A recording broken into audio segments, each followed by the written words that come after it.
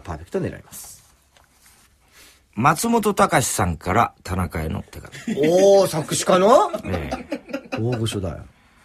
田中君、はい。はじめまして。あ、はじめまして。松本隆です。へえ。はい、どう僕は作詞家だから、ボケるのは苦手ですが、も。いえい頑張ってボケが10万個入った手紙をえ。い。や、10万個多すぎるよ。そんなの要求してないから10個ね。僕の作品で田中君が好きな曲は、近藤正彦のデビュー曲、スニーカーズロースかな。いや、ちょっと違いましたね。ブルースね。スニーカーブルース。芋筋トリオの、芋筋、だから、え何ですか？芋筋はいいんですよ。いや、まだわかんないから。芋筋トリオの、えおっぱいスクールララバイ。ハイスクールならばです。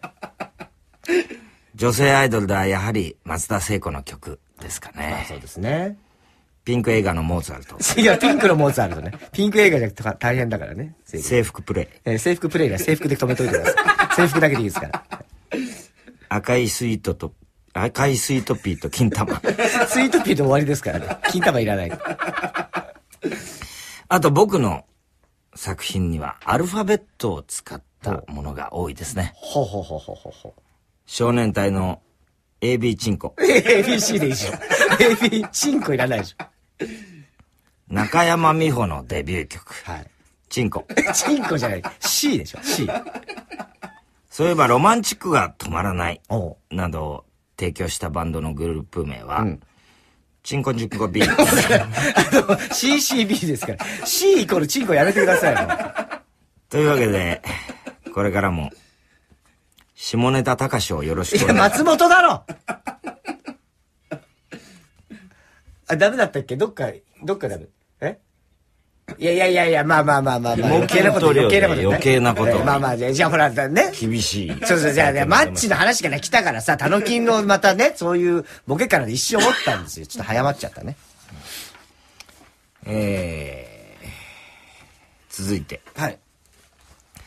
酒屋の店員さんからの手紙。え？酒屋？酒屋、酒の、お酒のね酒屋の店員さんからの手紙ですね。はい下戸の田中さん。はいこんにちは。はい、こんにちは。僕は都内の酒屋に勤めている男でええす。あ、そうですか。はい。今日はこれから流行ると言われているお酒を紹介するよ。え俺が勤めている伊東洋華堂では、え。というか酒屋じゃないでしょ。それはヨーロッパ各国で作られている薬草系リキュールの。アブさんっていうアブさん、ヨーロッパじゃないだろ、あれ。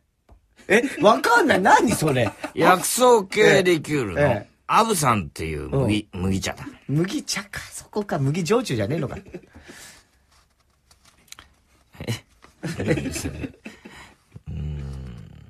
野球好きの田中さんなら真っ先にええ。水島新司の漫画を思い出したの。そうですね、アブさん。わかるよ。うん。名作だもんな。そうですね。男とは方向支援い。や、だから、アブさんだっつってんの？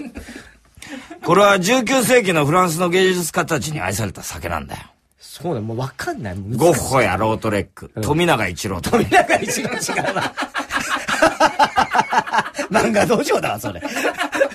アルコール度数が非常に高く、ん70度前後のものがほとんど。え低いものでも40センチぐらい。え。センチになっちゃって、パーセントじゃねえのかよ。どうだろう、どみんなストレートで一気にやるんだけど、飲んだ後、かーやっぱ酒はいいチコだよな。う。いちごになっちゃって。口々に。いちごじゃねえんだろ、だから。俺の好きなアマちゃんの飲み方は、アマちゃんの飲み方って何？どういうこと？わかんない。これさ、アマちゃんの飲み方って何？どう突っ込むのこれ？全然わかんない、これ。どういうこと？コップ一杯に入れたクラッシュギャルズにソーダ。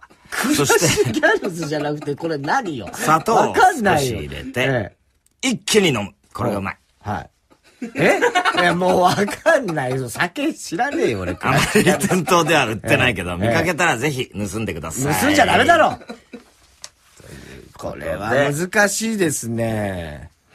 えー、正解を言いますね。はいまず、その、アブさんは合ってんです。えー、アブさんっていうのだ、ヨーロッパの。リキュール、アブさん。えで、まあ、麦茶はいいとして、富永一郎も良かったですね。センチも良かった。はいちこも良かった。これ、アマちゃん。これ、アブさん。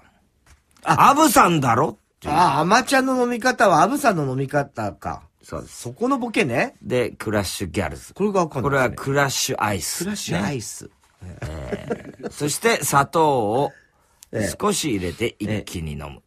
うん。アブさん入れてねえじゃねえかと。あー、もうわかんない。もうこの辺になってくるとね、ええ全然わかんなくなって、もう見失ってますもん、だって。アマちゃんでつまずいてくらい。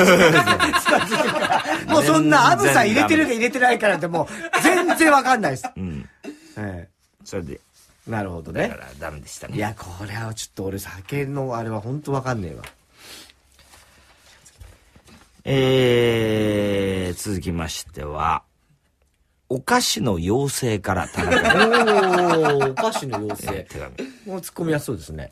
Dear 田中さ。うんん、まあ、そこ突っ込まないよ、あえて別にいいからね。でもちょっと変だよね。まあどうもーえ 私はお菓子の妖精、カカオだよ。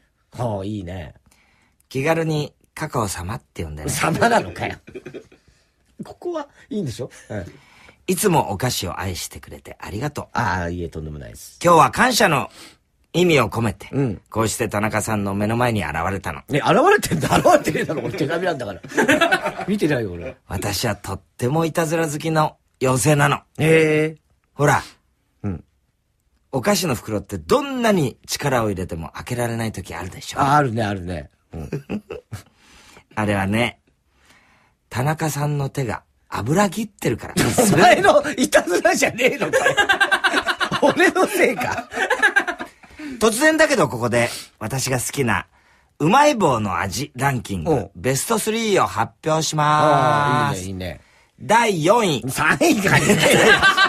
ベスト3なんだから4位いっちゃダメだ明ろ。太味。ああ、いいね、いいね。え第3位、えうん。まあまあいいや、もう。一回突っ込んだからね。ズーチえチーズって言えよ、業界人か、お前。ー。第2位、うん。コーンポタージュ味。ええまあまあね。はい。いよいよ第1位の発表うん。の前に、え？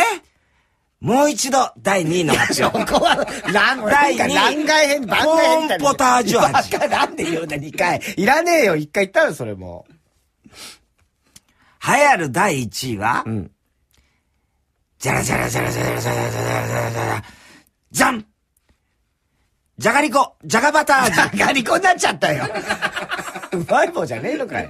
ちなみに田中さんのうまい棒は何味なのかな何言って噛んでんじゃねえよ、お前。次回は私が好きなベビースターラーメンの味ランキング、ベスト3000を、3000もねえよ、そんな種類が。from うんこの妖精。うんこの要素お菓子じゃねえのかよ。なんだなんだ？最初っからもう。